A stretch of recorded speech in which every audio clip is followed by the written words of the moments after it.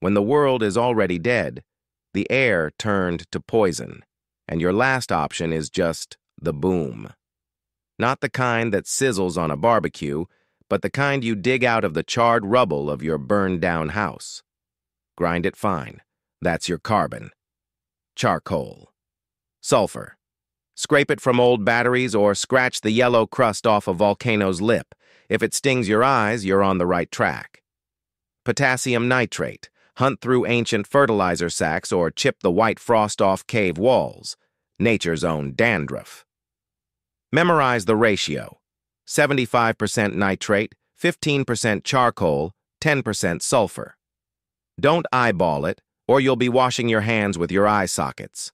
Grind slow, excruciatingly slow. You're doing science, not directing a Michael Bay flick. Tiny truth. Nitrate feeds the oxygen, charcoal burns, sulfur cranks the speed.